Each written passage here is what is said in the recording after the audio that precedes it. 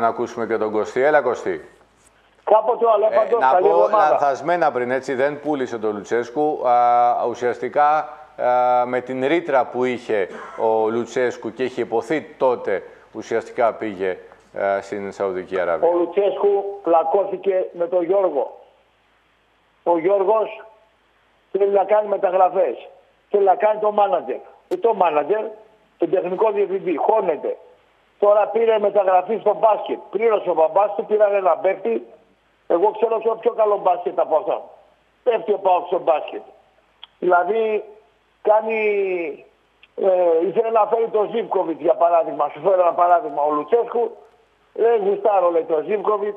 Τι είναι κάνει. Δεν τον πάρω. Όχι θα τον πάρω και θα τον πάρω. Πασαρία. Έφερε το center back αυτόν από τη Ρωσία. Δεν τον ήθελε ο, ο, ο Το προπονητής. Χατζερίδη, Είναι- ναι. Είναι αργός. Εγώ τι σου λέω. Ρε είναι αργός. Φέρα στον ΠΑΟΚ, τρία χαφ τώρα, παίξε, έπαιξε με χαφ αργά. Τον Εσίτη τον είδες εχθές, τους που τους φέρανε. ναι.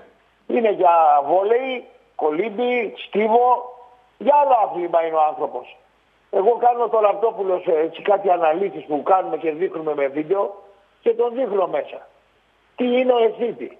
Μπάλα δεν ξέρει να κατεβάσει. Να μαρκάρει το περνάει σαν σταματημένο ο Ζαχίν και ο, και ο Κουρμπέλης με τον Δόνι. Για πλάκα. Το περνάνε. Και σε χώρο μεγάλο σου κάνει κεφάλι και σου κάνει και πέναλτι. Κεφάλι δεν έχει. Line-up μπαλκαρίσματα δεν έχει. Σουτ δεν έχει. Γκολ δεν βάζει. Άχρηστος τελείως. Αργός τον βάζει μέσα. Και φέρεται ο Κουρμπέλης με τον Δόνι. Πεχταράδες αυτά τα χαφ. Με χειρότερο παίκτη τον Ζαχίν χθες ο Παναθηναϊκός. Άμα ο Ζαχίν ήταν στα καλά του θα είχε προβλήματα μεγάλα. Από τώρα θα είχε φύγει ο, ο προπονητής του ΠΑΟΚ. Πάντως μακάρι για τον ΠΑΟΚ το μοναδικό του πρόβλημα να ήταν ο Εσίτη. Δηλαδή νομίζω ότι έφταιγε Καλά, ένας ναι, παίκτης σου είπα ένα μόνο παράδειγμα χθες, εγώ έτσι. τώρα. Λοιπόν, να Έχει τον δούμε... Βιερίνια εξτρέμ. Τους λέω εγώ μετά το τραυματισμό ο Βιερίνια δεν έχει έκρηξη στα πρώτα 7-10 μέτρα. Δεν μπορεί να φύγει σε ένας με έναν. Εδώ έπαιξε με τον Άρη, έπαιζε μπακ ο Ρόουζ, δεξί μπακ. Ο Ρόουζ είναι ένα 90 στόπερ. Τον βάλανε εκεί επειδή δεν έπαιζε ο, ο μπακ του Άρη, ο Ξανθός. Ούτε μια φορά δεν πήγε στο ένας με έναν ο Βιερίνια. Μετά, δικαίωση αλέφαντου για Γιαννούλη. Δικαίωση αλέφαντου για Λιμιό. Βάζει και τον ε, χαφ, τον, ε, πώς το λένε, τον Μίσιτς. Το βάζει δεκάρι. Ο Μίσιτς παίζει πιο πίσω. Και έκανε τις μπαλιές, μοίραζε, έκανε. Δεν γρήγορος παίκτης κι αυτός. Το πετάει δεκάρι, το, το διαλύει κι αυτό. Βάζει τον Μπίσεσβαρ. Ο Μπίσεσβαρ παλέμαχος. Πολλά προβλήματα ο Πάοκ. Εγώ γι' αυτό το έδωσα άσο το μάτς. Γιατί εδώ και 1,5 μήνα ο ΠΑΟΚ δεν πάει καλά, δεν πατάει καλά. Απλά έπαιρνε ένα μηδέν το Βόλο, ήρθε η Τρίπολη στο πρώτο ημίχρονο, και δύο πέναλτι δεν τη δίνει, κερδίζει ο ΠΑΟΚ μετά στο δεύτερο με κάτι ψευτογκόλ. Δεν είναι, ε, δηλαδή ο Ολυμπιακός πιο καλά πατάει αυτή τη στιγμή. Πιο καλά πατάει. Θα Και δούμε, δείχνει ότι θα, έχει- θα ναι. δούμε δικαιώνεται προς το παρόν και το ρεπορτάζ του Ραπτόπουλου για τον α, Μιλόγεβιτς. Φέρεται ε, να παίζει δυνατά εάν προκύψει α, θέμα προποντή και δεν υπάρξει μόνο φημολογία όπως είναι Τώρα εδώ αυτή η εβδομάδα είναι. Ναι. Τον πήρα τηλέφωνο, είναι να παίξουμε με τον Παναθηναϊκό, μετά πάει έξω, που πάει ο Πάοκ. Λοιπόν, μετά έχει ρεβάν στην άλλη Τετάρτη, μέσα στο μήνα, Ναι. τον καθαρίσουν, να τον καθαρίσουν αυτός. Θα θέλει τα λεφτά. Ο Μπίσος Σαββίδης δεν έχει ανάγκη, πληρώνει. Τον έχουν φάει να κάνω λεφτά. Στην αποζημίωση θα κολλήσει. Μόνο με τον Δόνι είχε πρόβλημα. Τώρα έμαθα το ρεπορτάζ, θέλει να πάρει ο Σαββίδης πίσω τα λεφτά του Δόνι από τον Άριο Πάγο. Πήγε λέει στον Άριο Πάγο.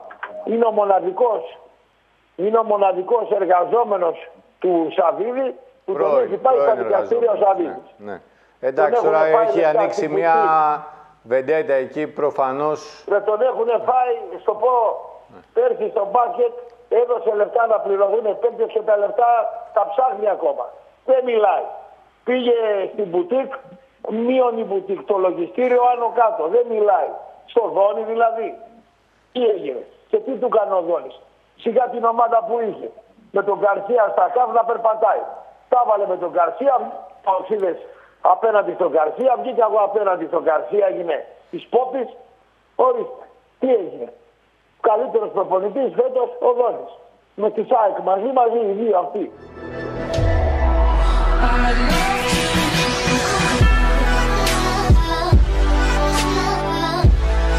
Το φαΐ είναι μια από τις τελευταίες απολαύσεις του νέου Έλληνα. Το καλό φαΐ είναι προνόμιο των λίγων αλλά και των ψαγμένων. Όταν συνοδεύεται και με ποτό από θεσσαλικά αμπέλια, τότε η απόλαυση γίνεται πολυτέλεια. Και όταν η πολυτέλεια συναντά την ποσότητα στις μερίδες και τις τιμές κατανόηση, τότε μιλάμε για το γευτικό στέκι που ψάχναμε καιρό. Φαρσαλιλό στο τριάδι, για μερακλείδες. Κάθε μέρα και διαφορετικοί μεζέδες, με ό,τι κρεατικό μπορείς να φανταστείς, με τόπια κρέατα από τη Θεσσαλία. Με πρόβιο θεσσαλικό σουβλάκι και παϊδάκι. Όσο για τον τσιμπουρομεζέ, σερβίρεται με τον παραδοσιακό θεσσαλικό τρόπο. Κάθε μέρα με διαφορετικές φρέσκες λιχουδιές. Σε μεγάλο πιάτο και κάθε μέρα με διαφορετικό κατάλογο. Χώρος για κοινωνικές εκδηλώσεις. Με πάρκο πέντε στρεμάτων και παιδική χαρά. Στο τριάδι. Ό,τι φας δεν θα το ξεχάσεις και με ό,τι πιείς θα τα χάσεις. Φαρσαλινός στο τριάδι για μερακλίδες.